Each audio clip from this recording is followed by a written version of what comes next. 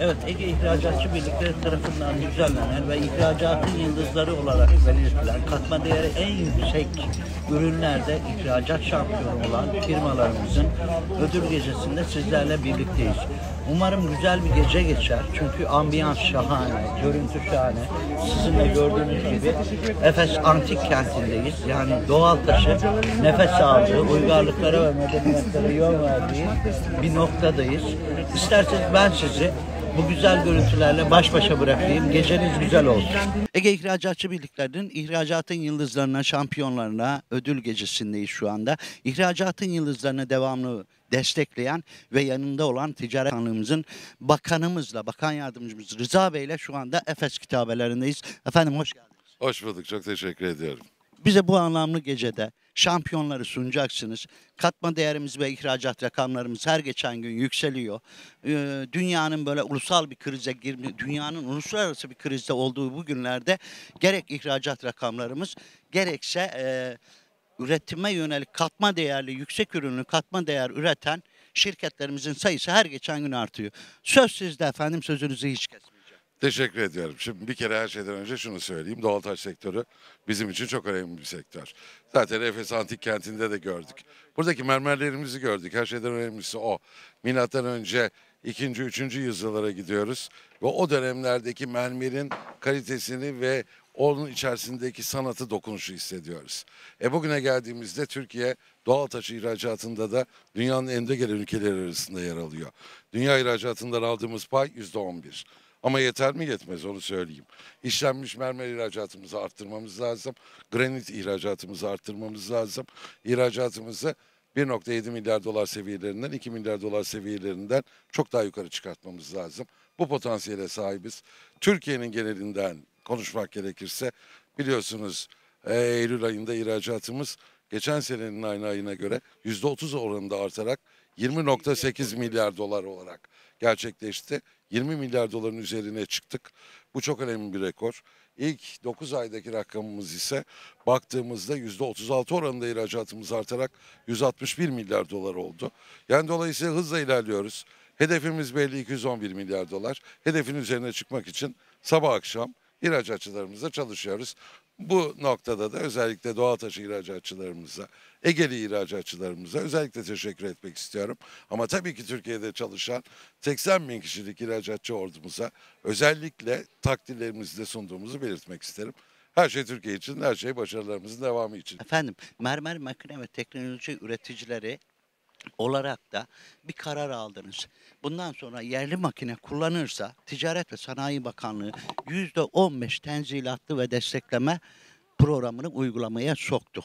Bu anlamda makine ve teknolojileri de sayenizde çok daha e, nasıl söyleyeyim uluslararası arenalarda mücadele edebilir oldu. Yurt dışından gelen makinelerimize konan bu fon sayesinde biraz nefes aldılar. Makine ve teknolojiler grubuna da yeni müjdeleriniz olacak mı? Yani şunu söyleyeyim. Tabii burada bir yatırım teşvik belgesi kapsamında yapılan düzenlemeler var.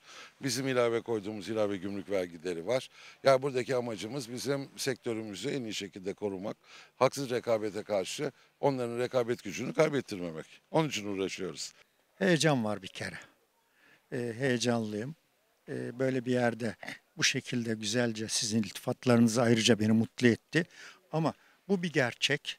Ee, ben her arkadaşımızın heykele, arkeolojiye e, daha önem verilse ülkemizde de tabii bu. E, ben mutlu olurum. Arkeoloji e, bizim geleceğimizin ve daha doğrusu geçmişimizden bize geleceğimize güzelce anlatan bir tarih yığını. Bu harika bir şey. Üstüne gitmek lazım. Teşekkür ederim. Siz gelecek nesillere yapmış olduğunuz heykel sempozyumlarında ne mesaj vermek istediniz? Ya ben şimdi burada şunu söyleyeceğim. Büyüklerimiz şöyle demiş. Sanatsız kalan bir milletin e, can damarlarının biri eksiktir. Hani onun için sanatla uğraşsınlar, dürüst olsunlar, saygılı olsunlar. Benim kaçıncı gelişim bilmiyorum ama atalarımızın bu değerli eserlerinin önünde böyle bir programın olmasından ben gurur duydum. İyi düşünmüşler. Güzel bir gece, güzel bir program olacak. Benim her zaman vurguladığım tek bir şey birlik, beraberlik. Burada bir birlik, beraberliği sağlayacağız. İnşallah e, hak eden ihracatçılarımıza, hak eden duayenlerimize ödüller verilecek. Ben çok mutluyum. Hep birlikte olduğumuz için. Projeleri, Her ne kadar Sayın Mevlüt Kaya ile ara sıra böyle tartışmalarımız, esprilerimiz, e, kucaklaşmalarımız ve kavgalarımız da olsa bugün gece gerçekten güzel bir gece. Efes'teyiz, Antik Tiyatro'dayız ve Sayın Mevlüt Kaya gerçekten sektörü onurlandıran güzel bir organizasyona imza attı. Hani marifet iltifata tabidir denir ya. E biz de Mutfak Dergisi objektif olmak kaydıyla bu gecenin mükemmelliğini Sayın Başkan'dan dinlemek istedim. İşin açıkçası ben kusur aradım. E pek bulamadım. Umarım siz de bulamazsınız. Çok teşekkür ederim. Çok sağ ol. Ee, Mehmet Akyoğlu. ee, çok eski bir hukukum olan bir insan. Ee, ben Mehmet Akyoğlu'nu 45 dakika telefonda dinleyen, 5 dakika sonra arayıp 35 dakika daha konuştuğunda sabreden bir adamım. Yani ee, ama ee, konuşmalarının çoğunu da alıp cebime koymuşumdur her zaman. Çok teşekkür ediyorum. Bugün bu gece umarım iyi olmuştur. Eğer bir iyilik varsa sizlerin sayesinde, gelenlerin sayesinde. Yani başta da konuşmamda da söylediğim gibi horon ve halay ne kadar kalabalık olursa o kadar hoş olur. Ama inanılmaz bir ekip çalışması, egoların bir tarafa bırakılıp sadece biz anlayışıyla herkesin yüreğini ortaya koyduğu bir çalışma oldu. Allah utandırmasın.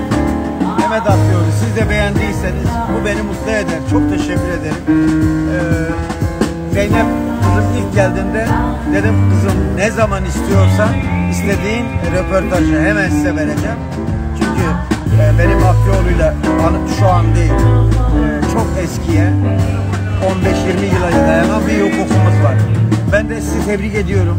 Çalışmalarınızdan dolayı, yaptıklarınızdan dolayı. Başarılarınızın devamını diliyorum. Allah yardımcınız olsun. Her şey için teşekkürler. Ee, sorunun varsa sorunuza cevap vereyim. Kol kırılır, yen içinde kalır. Elbette ki tenkit ve eleştirilerimiz devam edecektir. Sayın İbrahim Halimoğlu, şöyle bir yer değiştirmek istiyorum. Evet, eee, bu geceye güzel imza atanlardan bir tanesi.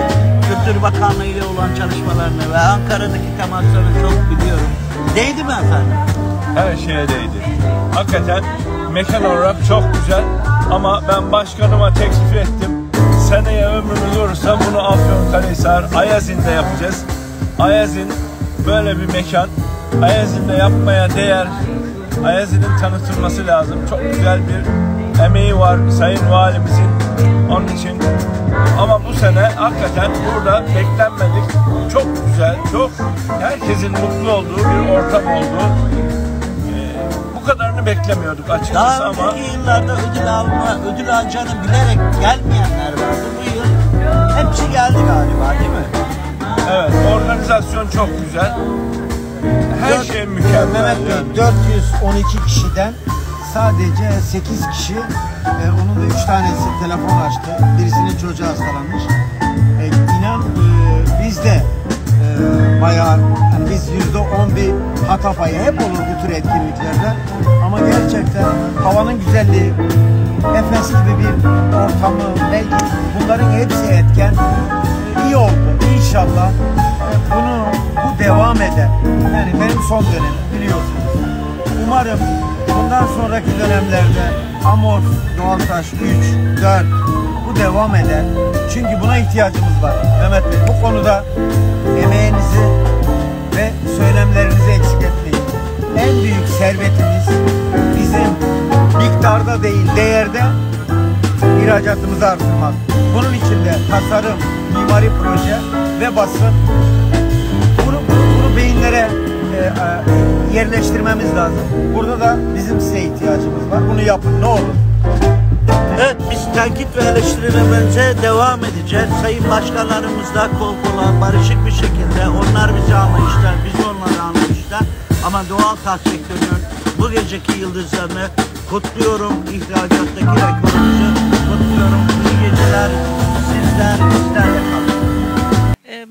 İhracatçı Birlikleri'nde e, genel sekreter yardımcısıyım. Sanayi sektörlerinden sorumlu. 20 yılı aşkın süredir İhracatçı Birliklerinde görev yapıyorum.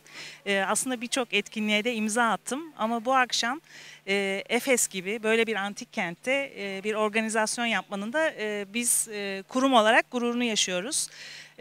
Sizin de bahsettiğiniz gibi buradan izin almak çok kolay olmadı ama biz doğal taşla bu mekanı e, nasıl bütünleştirmek istediğimizi e, Kültür Bakanlığımıza aktardığımızda onlar da memnuniyetle bu mekanı bize tahsis etmek istediler. E, Doğal taşla biz bu mekanı bütünleştirmenin aslında bir gururunu yaşıyoruz.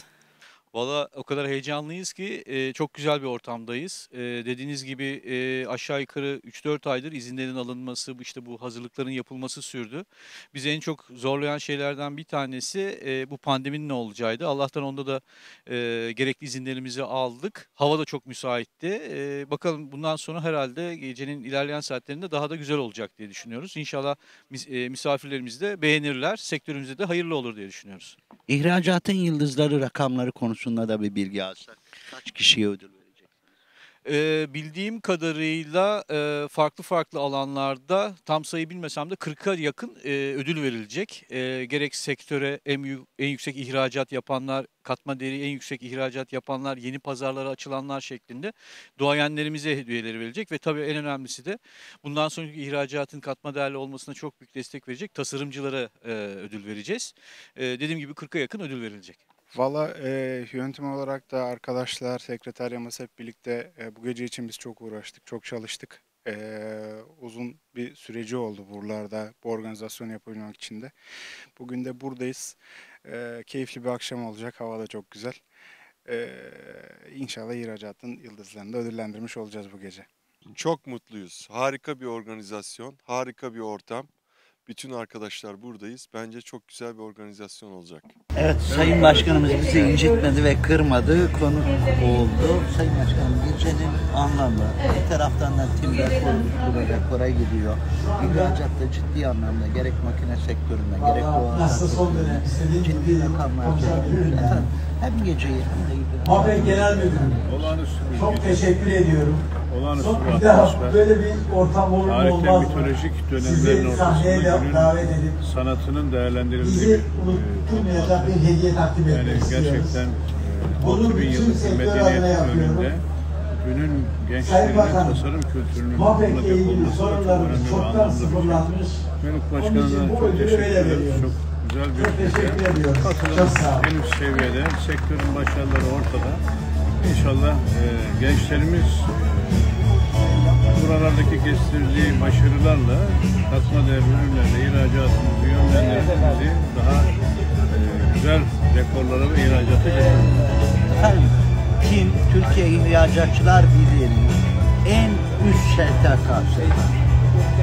Bundan sonraki hedefimiz nedir efendim ihracatta? İhracatta 2026'da 300 milyar dolar.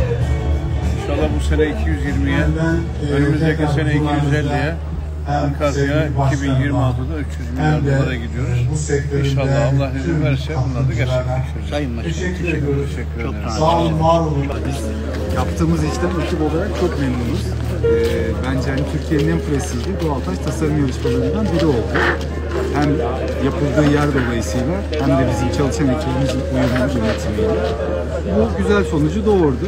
Umarım gecenin sonunda da herkes memnun olarak kalkar evlerine döner. Tabii bunu bir e, denge içerisinde ele aldı yönetim kurulu. En hem yüksek ihracat hem de katma değeri yüksek olan e, lara verilmiş olacak. Bu ilk defa veriliyor. Bunun dışında biliyorsunuz yıllardır en yüksek ihracat yapanlara bu ödülleri veriyorduk. Bu yıl bunun dışında yeni pazarlara ilk defa ihracat yapan firmalara miktarı önemli değil. En yüksek olanlarından üç tanesine de yeni pazarları açtıkları için ödül veriliyor. Dolayısıyla bu yıl e, sadece amorf bir e, yarışma e, taş sanat katar konusunun ötesinde bu yıl bununla birlikte de yeni bir takım ödül ler ortaya çıkmış oluyor. Bence e, Ege Maden İhracatçıları Birliği önemli bir e, yaklaşım içerisinde bu yıl. E, ben e, çok mutluyum bu gelişmeden. Çünkü yıllardır hep katma değeri yüksek ürüne ödül verilmesini iste- istiyordum. Biz hep uç ürünlere çalışmalıyız. Önemli olan çok miktarda çok ihracat yapmak değil. Daha katma değeri yüksek ve benim ülkemde taşımı daha pahalıya satabilmem önemliydi. Bakın burada Efes. Biraz önce burada e, fuarda da gördünüz 589 kişi buradaki dünyanın ilk taş kesme makinasını VR gözlüklerle izlediler. Oradaki işçilerle İyonyalı mermer işçileriyle beraber heykelleri yaptılar. Bu nedenle Efes çok önemli. Evet biraz sonra muhtemelen müzik bir gösteriye geçeceğiz. Ee, Ege İhracatçı Birlikleri'nin e, şu anda e, ihracat şampiyonlarını onurlandırdığı bu gecede sizlere elimizden geldiği kadarıyla yayınımızda e, bilgilendirmeye çalıştık. Umarım mutlu kalmışsınızdır. Bundan sonra doğal taş ve makine teknolojileriyle alakalı haberleri almak istiyorsanız bizden ayrılmamanızı tavsiye ederim. Geceye katılanları arkadaşım şimdi masalardan güzel e, Efes Antik Tiyatrosu'nun bu nostaljik görüntüsüyle baş başa bırakacak ve kimler katıldı, kimler ödül aldı hepsi sizlerle birlikte olacak. Şöyle e, kameraman arkadaşım eğer e, masaları yavaş yavaş gezerse sevinirim. Bunlar bütün masaları gezin. Tamam mı? Öyle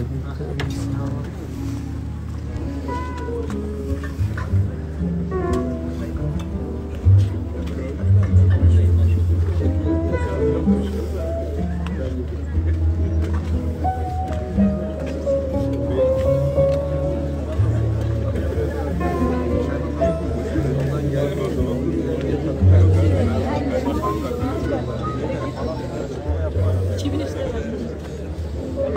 Yeah.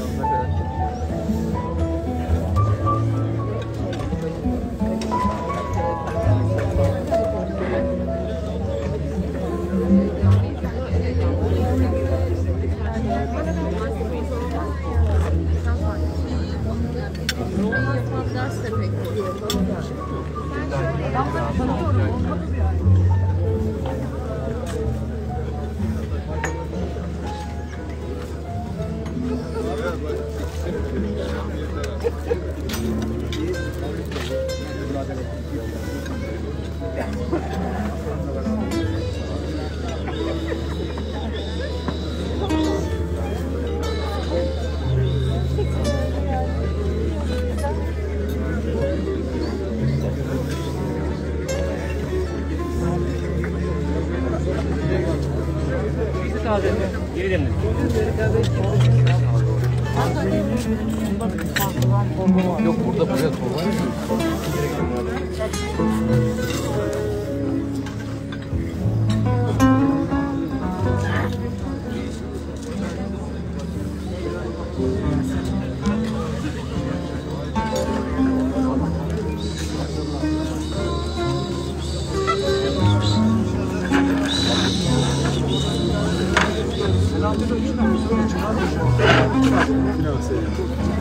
Bende aynı ismi var da beni da buraya düşüyor. Nice ödüllere inşallah.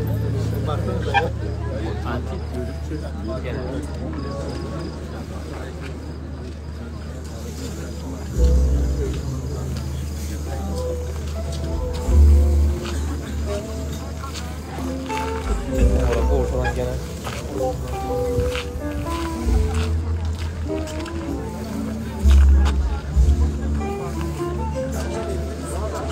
mi o? En arkadan mı?